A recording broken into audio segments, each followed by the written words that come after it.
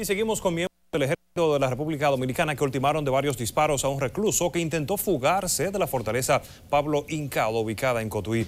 Se trata de Carlos del Carmen Cabrera Taveras, de 30 años, quien es oriundo de Santiago y se encontraba recluido en esa cárcel por violencia de género.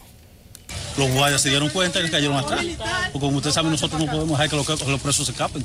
Porque los presos están porque, porque hicieron algo malo y normalmente ahí se está, se le trata bien a, los presos, ¿no? Para que intenten escapar. Si intentan escapar, pues la, la ley es que se, que se capture inmediatamente, sea como sea.